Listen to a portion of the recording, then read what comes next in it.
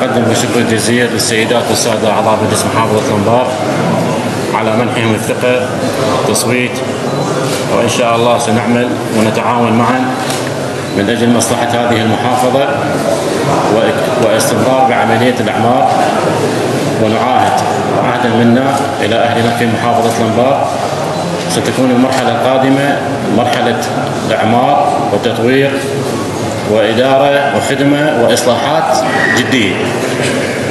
لدينا ملفات مهمة سيتم معالجتها إن شاء الله بالقريب العاجل بالتعاون مع الإخوان في مجلس المحافظة وباقي المفاصل. آه، تهم المواطن في الأنبار بشكل مباشر. أتمنى التوفيق للجميع وإن شاء الله البركة بكم. نشد الساعد بالساعد ونقدم الأفضل. الأنبار